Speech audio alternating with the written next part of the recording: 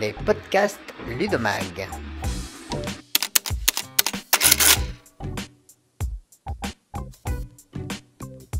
Bonjour Didier Roy. Euh, vous allez intervenir à, à Eidos 64 euh, hein, la semaine prochaine.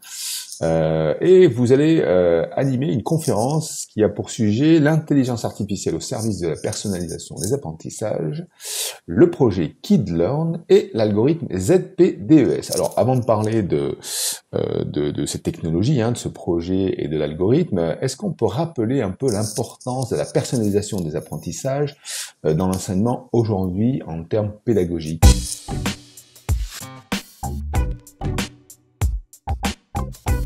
Alors, euh, l'idée de la, de la personnalisation, c'est de pouvoir adapter le rythme et les activités euh, à l'élève.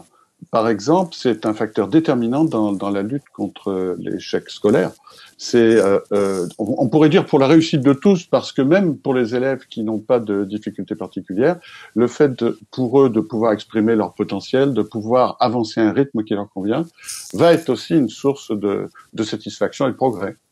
Alors, donc, euh, c'est, cette personnalisation est gérée euh, euh, par les enseignants d'une manière ou d'une autre. Là, là, en l'occurrence, on va parler de technologie. quelles sont les principales technologies ou est-ce, qu'on a, on a pléthore de technologies qui permettent en fait d'aider à cette personnalisation?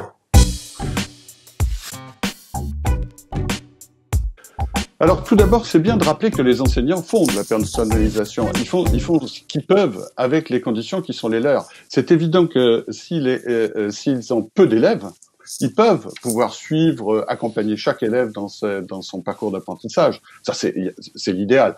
Mais comme s'il y a beaucoup d'élèves, eh bien, c'est pas du tout facile de pouvoir accompagner chacun, d'avoir des rythmes différents, etc. Donc, c'est pour ça qu'on peut se tourner vers des solutions numériques qui peuvent aider, qui peuvent être des outils euh, pour aider l'enseignant à gérer cette, euh, cette, personnalisation. Alors on va trouver, euh, je, je, dis ça un peu en vrac, hein, on va trouver bon, des, des, logiciels éducatifs, donc des learning games, on, on va trouver des plateformes d'accompagnement, on va trouver des systèmes tutoriels. Et, mais euh, tous, tous ces systèmes, tous ces outils ne se valent pas il va y en avoir justement qui vont être euh, euh, moins personnalisants que d'autres. Donc la, la différence, au-delà bien sûr la, la, qualité des activités pédagogiques, la différence va se trouver dans la qualité euh, et la pertinence de la personnalisation. Alors la personnalisation, euh, a priori, on a, on, a parlé dans le titre, de la, enfin vous allez parler dans le titre de la conférence de l'intelligence artificielle. L'intelligence artificielle, on peut rappeler peut-être un peu ce, ce processus d'apprentissage par la machine et, et, et comment vous l'avez utilisé, j'imagine, au travers du programme KidLearn et, euh, et ce fameux algorithme dont on parle dans le titre de la conférence? Alors, euh, euh, juste tout d'abord pour rappeler un petit peu euh, de, de, quoi on parle quand on parle de personnalisation. C'est-à-dire, on, on, peut pouvoir adapter le rythme, mais on peut aussi pouvoir adapter les activités de manière à proposer à l'élève à chaque instant l'activité qui va le faire le plus progresser.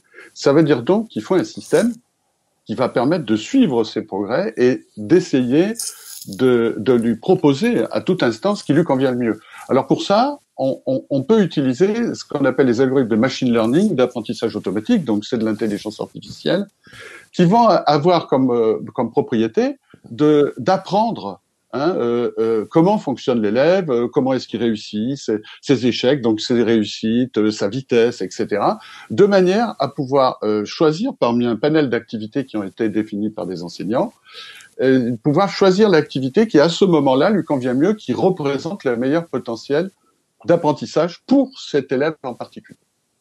Donc vous avez testé euh, ce, ce, concept et des outils lors de ce, de ce programme KidLearn voilà. d'élèves, j'imagine, euh, à oui, voilà, d'enseignants, c'est ça? Oui, voilà. Juste pour, euh, pour, pour juste poursuivre deux, deux secondes sur l'intelligence artificielle, l'idée, parce que là, il faut être clair, c'est fondamental, c'est euh, un outil au service de l'enseignant. Hein. C'est comme ça que ça doit être vu. C'est pas du tout quelque chose qui doit être un assistant de l'enseignant et encore moins un remplaçant. Hein. Dans oui, cas, parfois, euh, voilà, euh, c'est vraiment un outil de plus dans, le, dans, dans la musette de l'enseignant pour pouvoir aider euh, ces activités pour pouvoir aider à la personnalisation. On précise Alors, en bien ce que c'est pas un outil de, de, de, de, de remplacement. Voilà. Oui, voilà. Ouais, voilà. C'est pour ça que je tiens absolument à être oui. là-dessus. Hein, De toute façon, euh, euh, tout à fait honnêtement, euh, il n'y a pas d'algorithme aujourd'hui qui serait capable de remplacer euh, ce que fait un enseignant. Ça n'a- ça n'aurait aucun sens. hein. Alors, en ce qui concerne le, projet euh, KidLearn proprement dit, eh bien, euh, c'est un projet qui a consisté à tester différents algorithmes de, de personnalisation issus des travaux de recherche de l'équipe Flowers dans le Guinea. Et on, on a testé ces, ces, ces, pardon, ces algorithmes auprès de- d'environ 1000 élèves de CE1 et sur la base d'un un petit logiciel éducatif qu'on a fabriqué pour l'occasion euh, sur euh, l'apprentissage de la monnaie. Donc, euh, on a eu différentes modalités, on a testé un, certain nombre d'algorithmes.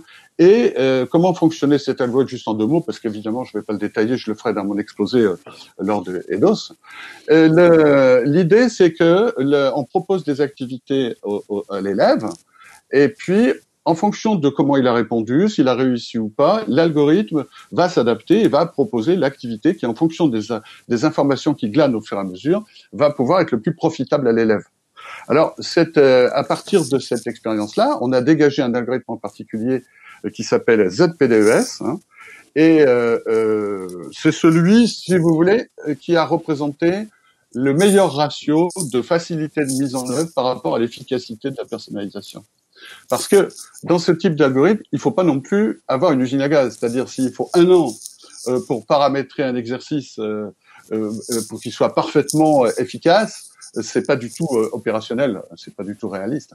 Donc là, on a trouvé un algorithme qui personnalise bien, on a eu de, de bons résultats, tout en représentant une mise en œuvre qui est somme toute simple à faire. Ok, alors je, je, je vais vous couper hein, parce que je sais que ça y est, la machine est, est, est en route et Didier Roy va commencer à, Ah, ah. sa conférence. Alors, la conférence, monsieur me connaît bien. la conférence, si vous voulez la retrouver, eh ben, c'est IDOS 64 la semaine prochaine. Je rappelle le sujet, l'intelligence artificielle au service de la personnalisation des apprentissages, grand sujet. Le projet KidLearn et l'algorithme ZPDES et en même temps, vous apprendrez ce que veut dire ZPDES. Merci euh, Didier. Merci, merci.